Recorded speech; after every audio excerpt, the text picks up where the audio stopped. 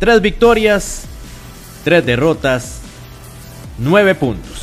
Hemos ganado tres partidos que se suponía que debíamos ganar. Hemos perdido tres contra muy buenos rivales, pero eh, hay que seguir. Es un buen inicio, la verdad. Estamos ubicados muy bien en la tabla, entonces tenemos que seguir mejorando para seguir alcanzando las victorias. El quinteto de baloncesto de Pérez Celedón se acerca a los primeros puestos. Solo tres puntos los separan del líder. Los buenos resultados comienzan a llegar luego de un inicio con varios cambios. Un comienzo, la verdad, eh, un poco bueno, enredado, complicado, porque el entrenador llegó una semana antes del inicio del torneo, llegaron eh, extranjeros nuevos que se tuvieron que ir por algunos motivos, llegaron otros, entonces, bueno, siento que en este momento el equipo se está acoplando muy bien, ya estamos entendiéndolo mejor. Los refuerzos, el entrenador, los jugadores generaleños, todo comienza a trabajar en una misma línea. Siento que en este momento eh, la unión de equipo es bastante importante, este, al principio nos costó mucho, pero bueno, ya con eh, el trabajo que hemos venido haciendo, eh, la unión se ha visto dentro de la cancha y es algo que,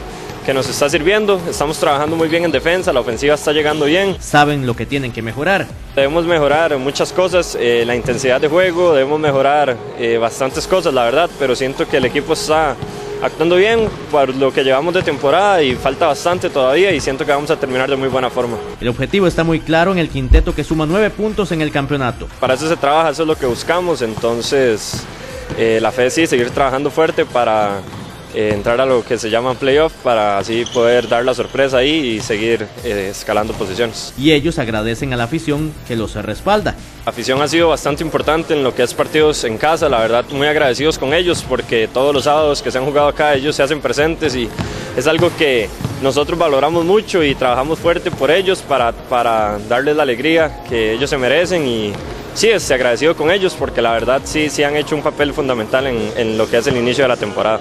Este sábado Pérez Celedón recibe a la Universidad de Costa Rica a las 7 de la noche en el Polideportivo.